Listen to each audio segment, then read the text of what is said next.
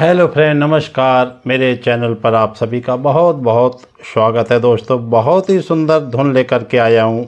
Muse सुन लिए आप चाहें तो इसे किसी कार्यक्रम में बजाएँ, कहीं भजन मंडली में, जहाँ पर भी आप बजाते हैं और बहुत आनंद आएगा, रंग जम जाएगा, क्योंकि राग भैरवी एक ऐसा राग है, जब राग को छेड़ते हैं तो ऐसे लगता है बीन की धुन बज रही हो।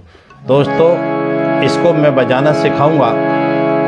पहली काली स्केल से, यानी सी शार्प माइनर स्केल पे। ये राग भैरवी पर है तो राग भैरवी के स्वर पता है आपको। सा, रे रे कोमल रहेगा, गा कोमल, मा, पा, धा कोमल, नी कोमल और सा। सा तक लगातार, सब तक के सा तक नोट्स लगेंगे नीचे धा और नी, ये भी कोमल रहेंगे। लोअर ऑक्टेव के धा, नी कोमल, सा, रे, गा, मा, पा, धा, नी, सा। मैंने यानी कि रूट बता सारे गामा पादा, शुद्ध स्वरों को शुद्ध स्वर जो होते हैं, उसको मैंने कोमल कर दिए हैं। यानी जो कोमल स्वर होते हैं, रे गा धानी इसको कोमल ले लिया ये राग भैरवी बन गया। स रे ग म पद नि स, नि द प म ग रे सा। स रे ग म पद नि स, नि द प म ग रे सा। तो इसको मैं दो फ्रेज में आपको सिखाऊँगा।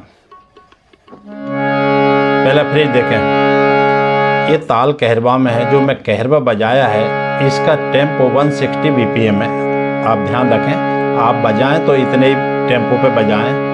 और भी तेज किया जा सकता है इसको, या स्लो में भी किया जा सकता है, लेकिन मिनिमम इतना तो होने चाहिए 160 बीपीएम टेंपो तो पहला फ्रेज देखें। सारे ग गे सा धनी नि सा रे नि सा पहला फ्रेज में ये बजाना।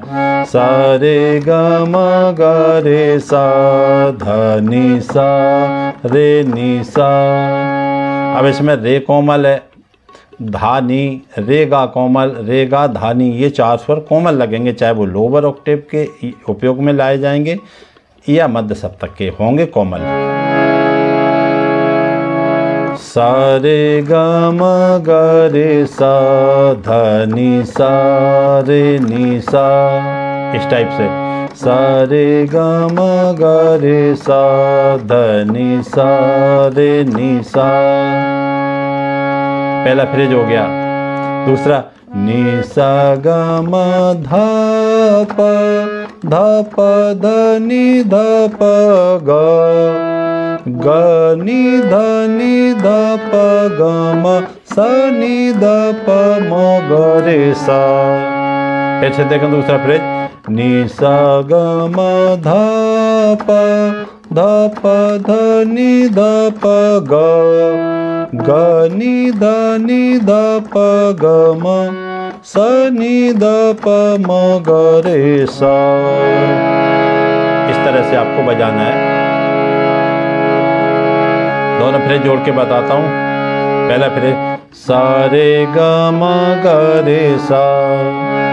दोस्तों, इसमें आप बिना नोटेशन के बजा सकते हैं। आप मेरे साथ सारे सारे ग गे सा ध नि सा रे नि सा सारे ग म ग सा ध नि सा रे नि सा पहला फ्रेज हो गया दो बार बजाना। दूसरा, निशा सा ग म धा प अब यहाँ धाप है, मैंने एक मात्रा बढ़ाया और पापे एक मात्रा बढ़ाया। कोमल धाप है और पाप है।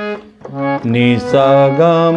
धा प धा प ध नि धा प ग यहाँ गा पे बढ़ाया एक मात्रा काल। और उसके बाद ग नि ध प ग म स नि ध प म ग रे सा अब इसको आप मात्राओं के हिसाब से देखें, क्योंकि ताल कहरवा है और ताल कहरवा आठ मात्रा की ताल होती है चार चार मात्राओं के विभाग होते हैं दो। अब देखें, सारे ग म वन टू थ्री फोर ग सा वन टू थ्री फोर यहाँ सा के ऊपर एक मात्रा बढ़ा दिया उसके बाद, ध, नि, सा, यहाँ सा के ऊपर एक मात्रा बढ़ा दी। ध, नि, सा, रे, नि, सा, यहाँ भी सा के ऊपर बढ़ा दिया। तो पहला फ्रेज बन गया, सारे ग म ग रे सा धनी सा, आ, रे, नि, सा, आ, ये पहला फ्रेज बन गया। दूसरा फ्रेज देखें। नी सा ग वन टू थ्री फोर धा प अब यहाँ धा के ऊपर एक मात्रा कोमल धाप है और पाप है। धा प वन टू थ्री फोर उसके बाद धा प ध नी वन टू थ्री फोर धा प ग। यहाँ गा के ऊपर।